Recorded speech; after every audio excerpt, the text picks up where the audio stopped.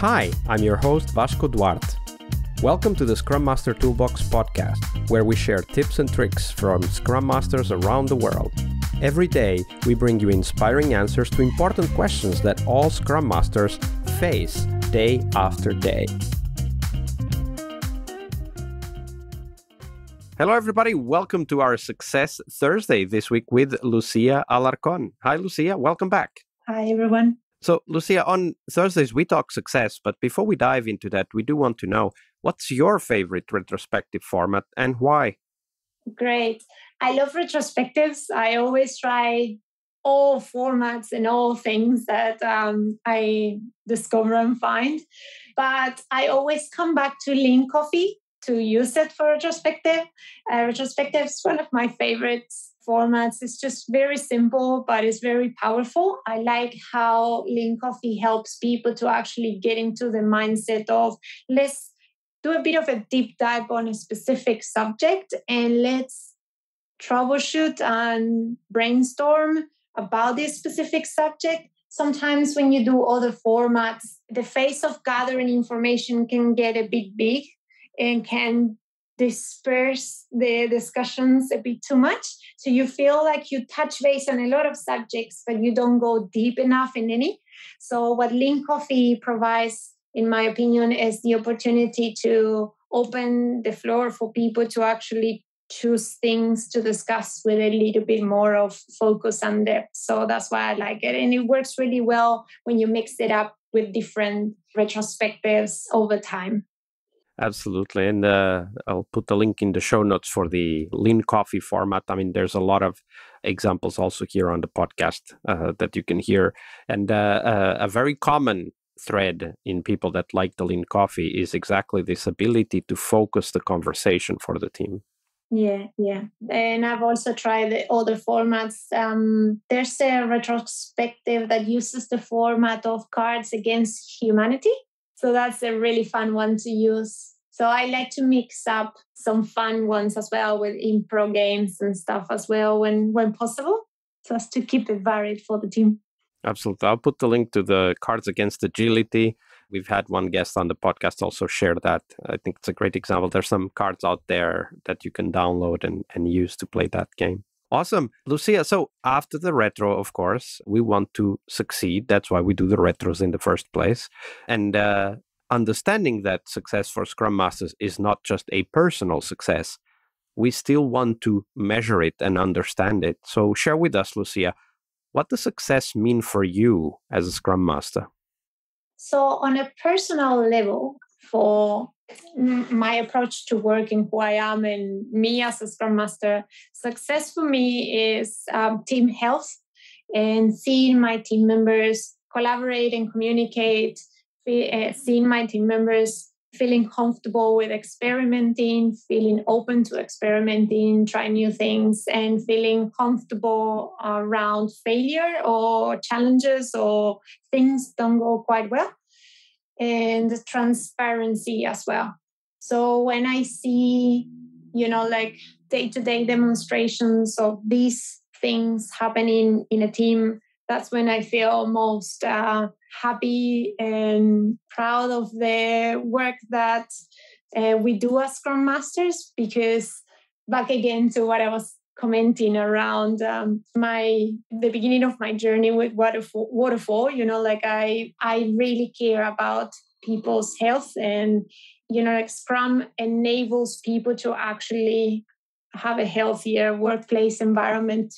How do you measure that health? I mean you've talked about being comfortable with experimenting and failure. I imagine those are parts but when you look at the teams that you work with how do you actually define health? What what are the things you're looking for so, in general terms, you can always do team health monitors. So, there's a lot of frameworks out there that you can implement and use them to bring it to the team and discuss together how people feel based on the different team health measures that are provided in many frameworks to measure team health.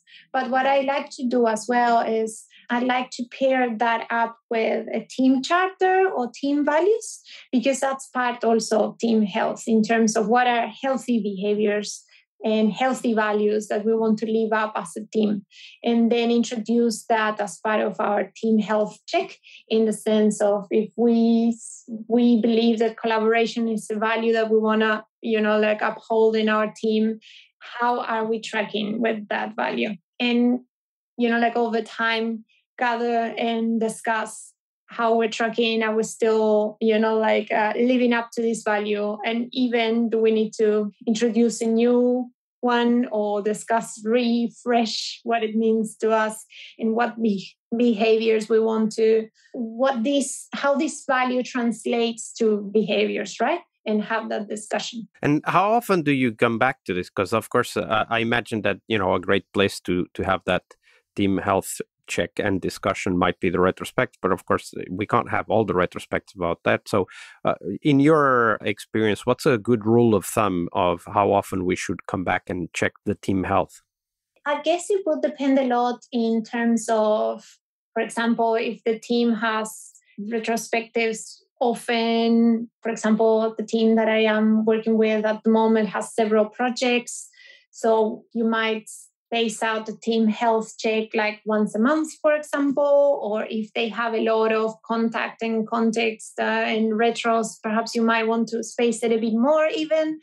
Like, I don't know, once a quarter. That depends on how often and how many spaces of discussions and communications you have with your team and how you see your team progressing as well.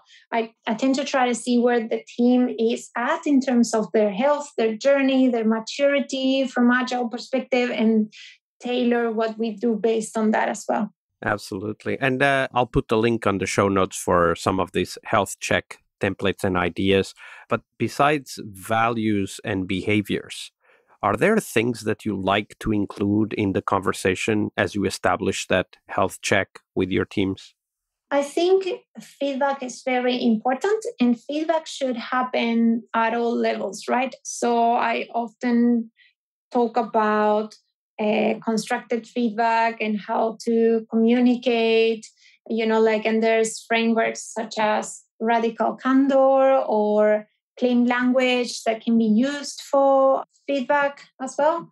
So, this is an important part of understanding and building towards uh, safety and team health, you know, being able to communicate when things are not quite constructive or positive, but in a way that helps the person to understand and do things differently next time, you know? So, that's important to include in the conversation, in my opinion.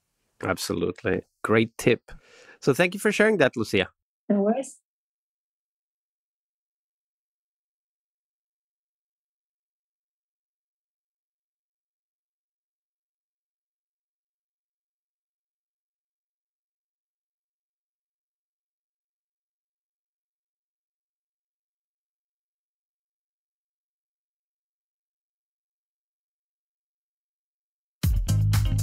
Part of a successful Scrum Master job is to help the product owner.